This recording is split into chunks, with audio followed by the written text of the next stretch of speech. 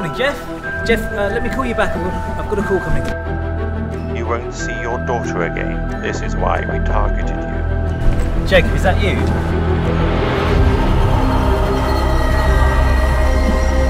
Hello?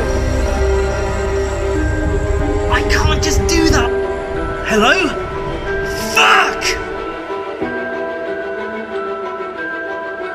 There are security systems in place! check your phone.